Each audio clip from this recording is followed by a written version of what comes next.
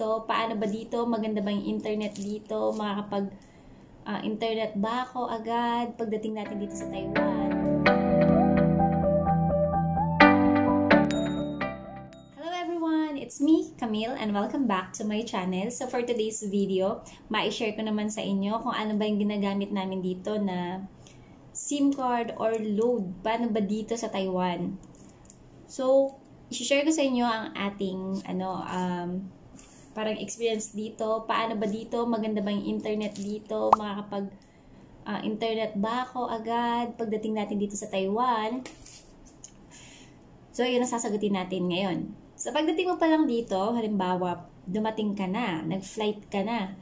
So, ang mangyayari, after mo mag-medical or gawin yung lahat ng kailangan sa araw na ito or sa araw na yun, sa first day mo, pupunta ka na sa iyong dorm. Sa amin, ganito ang nangyari. Pagdating namin sa dorm, may mga, isa-sign pa kami mga papers doon, yung mga dala nating mga envelope na pinapadala ng ating uh, agency, syempre dala-dala mo yon Aasikasuhin yun ng ating mga broker. So, inaabangan na nila tayo sa ating dorm or inaabangan na nila tayo ang ating pagdating.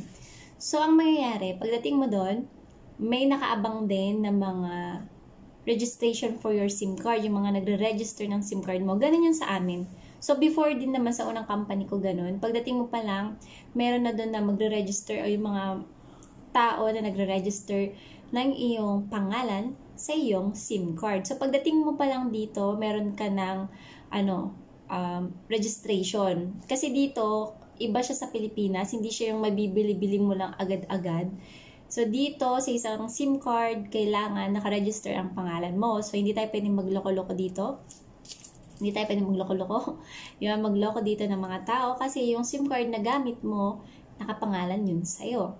So, ganun yun. So, pagdating mo dito, ang mangyayari, after mga 1 to 2 days, i-activate nila yung SIM card mo na may load na. So, wag kayong magalala pagdating nyo dito, yung ibibigay na, uh, ano to? na SIM card sa inyo, may load na yon So, kung hindi mo na kailangan pang bumili, so hindi ko lang kung ilang araw yun or good for ilang days. Nakalimutan ko na kung 15 days ba o 30 days yun, good for ganun na araw, magagamit mo siya. So, maglo-load ka na lang after.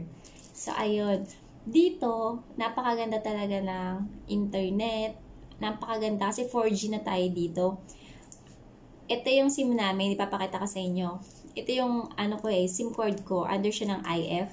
Ayan. So, ganito yung itsura niya. Yan. So, ito, ang price niya 599. Pero minsan, bibili lang namin to ng 570 NTD or yung Taiwan dollar natin. So, ito, good for 30 days na po ito. So, napakaganda kasi dito, unlimited na to. Unlimited internet for 30 days. So, meron na rin siyang 50 dollars na local call. So, magagamit mo siya kung gusto mo tumawag ng, ng ano, ng, sa kasama mo.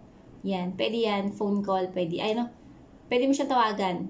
Ayan, kasi may local call siya. Tapos meron din, meron din itong 017 IDD call. So, hindi ko pa kasi nagagamit yung mga yun. Kasi, more on internet lang naman po tayo. So, pag tumatawag ako sa family sa Pilipinas, messenger lang naman po ang ating ginagamit. So, dito, unlimited yan. Kahit manood ka ng Korean drama, mula umaga hanggang gabi, hindi siya nauubos at walang laglag. Walang ganun. So, napakaganda ng internet natin dito. So, makakabili ka lang ng load. Yung iba nagtatanong din pala kung makakatawag sila sa Pilipinas through ano din, call lang din, international call. Pwede naman po tayong mag-load. So, meron pa rin tayong mga ganito din. Ganito din yung itsura nun eh. Pero hindi ko pa yun natatry. Yung asawa ko natatry niya yun noon. So, ito, ganito din siya.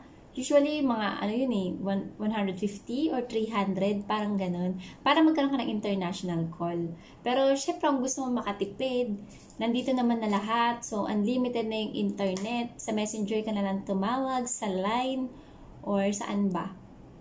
Ano pa ba yung mga application na pwede mong gamitin? Para at least makatipid ka na rin. Sa, nandito na kasi lahat. Tsaka napakaganda ng internet dito.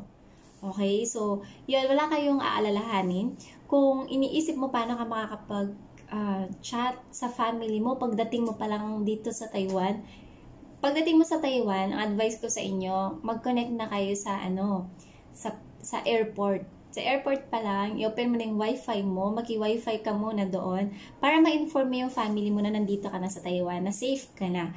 Kasi after nun, pagdating mo dito, marami ka nang gagawin. So, marami ka munang gagawin. So, marami kang aasikasuhin pa kasi may medical pa pagdating mo dito. So, ayun. Yun yung advice ko sa inyo. Pagdating nyo pala, mag-connect ka na ha para makapag-chat ka sa family mo na nandito ka na sa Taiwan. So, after nun, mga 1 or to 2 days, i-activate na yung SIM card mo, makakapag-chat ka na, makakapag-video call ka na sa family mo. So, huwag ka maglala.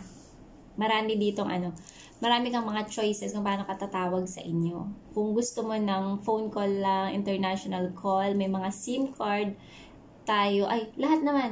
Pwede ka nang mag-load ng mga card na ganito na pang international call. Kung gusto mo ng ganun. Pero kung gusto mo ng ganito, yung internet lang, ayun, meron.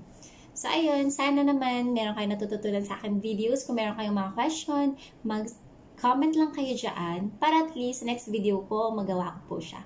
So, ayun, until next time guys, bye!